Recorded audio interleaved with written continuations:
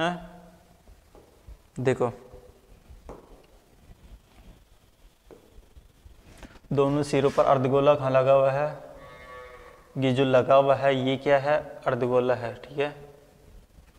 है ना? और यहाँ पर भी ये अर्धगोला है इसका, ठीक है? ये दोनों अर्धगोले लगे हुए हैं, समझ गए? और ये बीच वाला क्या है? पाइप है, यानी कि बेलन है, समझ रहे? हाँ। तो अब देखो, जो इसने दे रखा है, इनका व्यास दे रखा है, वो कितना दे रखा है? पाँच एम एम का दे रखा है। ये भी कितना दे रखा है? पाँच एम एम का दे रखा है, ठीक है? अगर इसका व्यास पाँच एम एम दे रखा है, यानी कि व्यास पाँच एम एम दे रखा है व्यास कितना है? पाँच एम एम दे रखा है। तो इस भाई साहब की त्रिज्या कितनी हो जाएगी?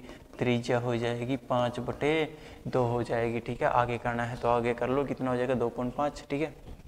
इतना ही रहने दो वरना ये हो गया, ठीक है? और ये कह रहा है कि इस पूरी की लंबाई यानी पूरे कैप्सूल की लंबाई कितनी है? चौदह एम mm है, ठीक है?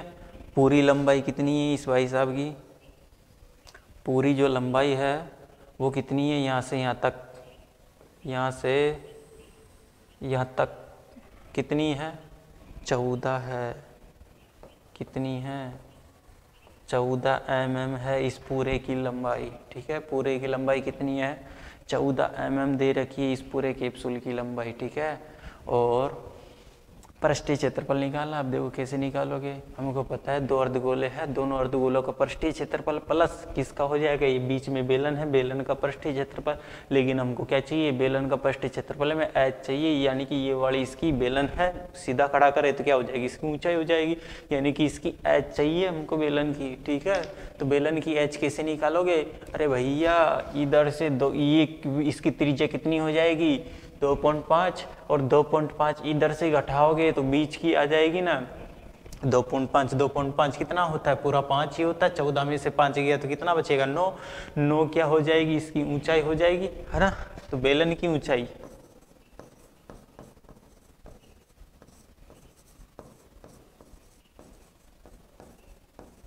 बेलन की ऊंचाई कितनी हो जाएगी भाई? कितनी है? टोटल है चौदह, उसमें से कितना घटा देंगे? दो पॉइंट पाँच, दो पॉइंट पाँच टोटल कितना हो गया? पाँच। घटाएँगे तो कितनी आ जाएगी? नौ एम एम। ठीक है? नौ एम एम की आ गई इसकी बेलन की ऊंचाई आ जाएगी। बेलन की ऊंचाई, ठीक है? अब देखो, इसका क्या निकालना है अपने को? वक्र पृष्ठीय क्षेत्रफल निकालना है, ठीक है? पृष्ठीय क्षेत्रफल। तो कैप्सूल का पृष्ठीय क्षेत्रफल है ना, लिख लो कैसे भी।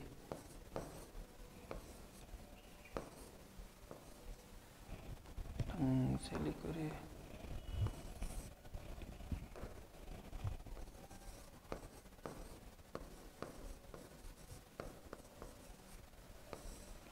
कैप्सूल का पृष्ठीय क्षेत्रफल। कैप्सूल का पृष्ठीय क्षेत्रफल क्या हो जाएगा? कैप्सूल का पृष्ठीय क्षेत्रफल होगा भैया, दो तो क्या है? अर्धगोले और एक बेलन, यानी बेलन का वक्र पृष्ठीय क्षेत्रफल। बेलन का तो क्या हो जाएगा? बेलन का वक्र पृष्ठीय क्षेत्रफल प्लस क्या हो जाएगा? प्लस हो जाएगा दो इंटू या दोनों अर्धगोले का, ठीक है? क्या हो जाएगा? दोनों अर्धगोले का, दोनों अर्धगोले का वक्र पृष्ठीय क्षेत्रफल। अर्ध गोले का वक्र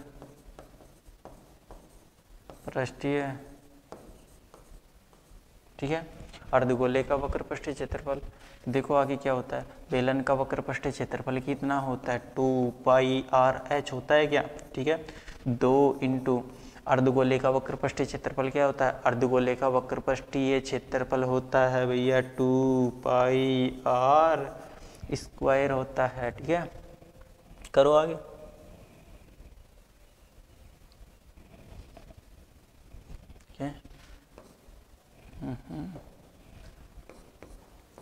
टू पाई अच्छा इसमें से अपन कॉमन ले लेते हैं ना, देखो कॉमन लेंगे। टू पाई आर, दोनों में दिख रहा है। कॉमन लो टू पाई आर लिया, इधर से क्या बच गया? एच और यहाँ से क्या बच जाएगा? टू पाई आर गया तो एक तो दो बच गया, और एक क्या बच गया? इधर आर बच गया, टू आर बच जाएगा इधर से। अच्छा टू पाई का मान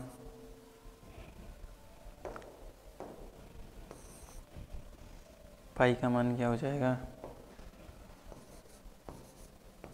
बाईस बटे सात इंटू आर कितनी थी अपनी आर थी पाँच बटे तो ठीक है।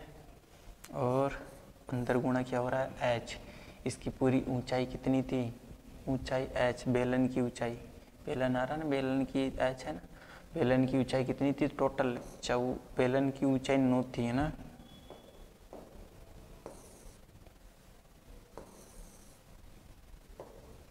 कितनी थी नौ एम एम ठीक है। प्लस दो इंटू आर कितनी थी? पाँच बटे दो। पाँच बटे दो, ठीक है। दो से गया क्या दो? हम्म। और ये दो से, ये दो गया, काट दिया। अब इधर कितना बच गया? बाईस पंजो। एक सौ दस बटे नीचे कितना है? सात। इंटू गुणा में कितना है? नौ और पाँच कितना हो जाएगा? नौ और पाँच, चौदह। अब अगर इसको भी देखें अपन तो कितना हो जाएगा? सात दूनी चौदह होता है तो कितना हो जाएगा गुणा? दो सौ दस को दो से गुणा करोगे तो कितना हो जाएगा? दो सौ बीस हो जाएगा, ठीक है? दो सौ बीस सेंटीमीटर का स्क्वायर। अरे।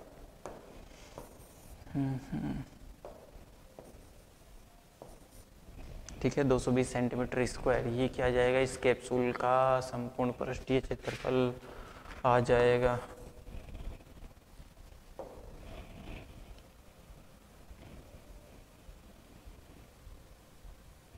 कैप्सूल का संपूर्ण पृष्ठीय क्षेत्रफल कितना?